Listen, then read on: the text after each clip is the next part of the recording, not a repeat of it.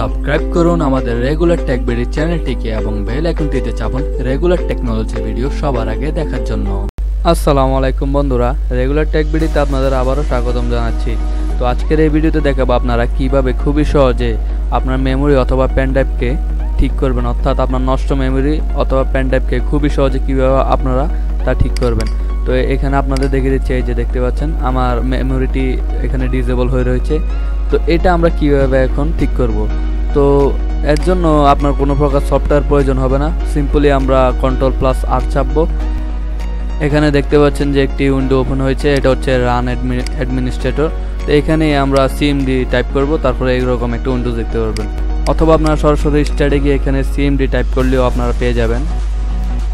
এই যে এটা, তো আমরা এটা ওপেন করে নেব। তো এখানে প্রথমে যেটা লিখতে হবে সেটা হচ্ছে diskpart D I S K P A R part এটা লিখে আমরা এন্টার চাপবো এই যে এখানে চলে এসেছে আরেকটি উইন্ডো। তো এই উইন্ডোতে আমরা এরপর লিখব list dicts L I S T list D I S K dicts তো এখানে দেখতে পাচ্ছেন যে আমার যতগুলো ডিস্ক রয়েছে, অর্থাৎ হার্ড ডিস্ক সহ মেমোরি যতগুলো রয়েছে, সব এখানে শো করছে। তো আমরা এখানে সঠিকটা টাইপ করতে হবে, যেটা সঠিক এটা। অর্থাৎ আমাদের মেমোরিটি হচ্ছে ধরুন তিন- দুই নম্বর ডিস্কটি হচ্ছে এটা আমাদের। তো উপরেগুলো আমরা সিলেক্ট করলে কিন্তু হবে না, তাহলে আমাদের হার্ড ডিস্ক ফরম্যাট হয়ে যাবে। তো আমরা সিলেক্ট ডিস্ক টু এ দিয়ে এরপর এখানে লিখব clean C L E N clean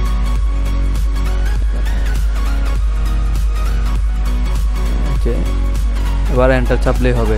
এই যে দেখতে পাচ্ছেন, আমার এটা হয়ে গেছে। তো এখন আপনাদেরকে আমি দেখিয়ে দিচ্ছি যে আমার মেমোরিটি আদৌ আসছে কিনা।